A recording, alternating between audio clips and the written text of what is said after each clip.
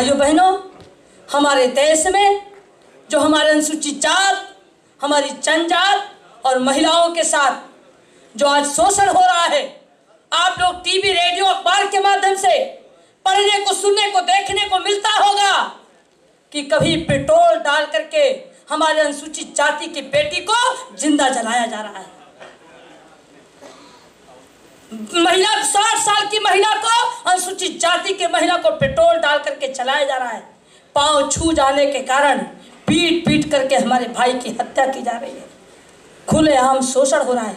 यही नहीं, बाबा साहब डॉक्टर भीमराव अंबेडकर जी भारत के संविधान निर्माता हैं। बाबा साहब डॉक्टर भीमराव अंबेडकर जी यदि नहीं होते तो भारत देश आज़ाद नहीं होता।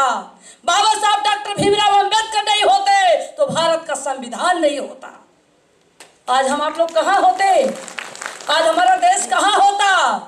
और ऐसे महापुरुष, बाबा साहब डॉक्टर भीमराव अंबेडकर जी की मूर्तियाँ लगातार तोड़ी जा रही हैं।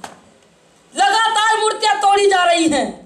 और मूर्ति तोड़े, जान तोड़ने वाले के खिलाफ अगर सख्त कार्रवाई नहीं होगी तो ये हमारे बहुजन समाज का अपमान ही तो है।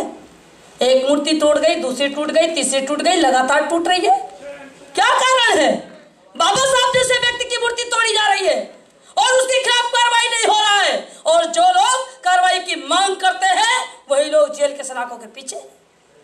आदमी किसके पास जाएगा? कहाँ जाएगा? मैं तो कहती हूँ, और मैं लोकसभा में उठाऊँगी, और मैं सरकार से मांग भी करती हूँ। हमारे मंत्री जी हैं, आ गए हैं, मैं उनका सम्मान करती हूँ। माननीय अर्जुन मेघवाल जी का मैं उनका बहुत सम्मान करती हूँ।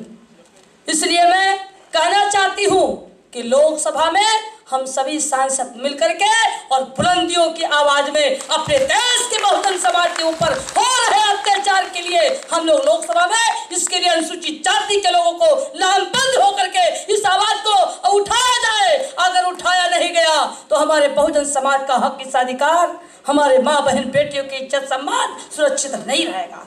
इसके लिए हमारी ज़रूरत है कि हम सभी लोग संगठित होकर, एकजुटता के साथ भाईचारा बनाकर हम लोग इस लड़ाई को निश्चित रूप से लोकसभा में उठाएँगे।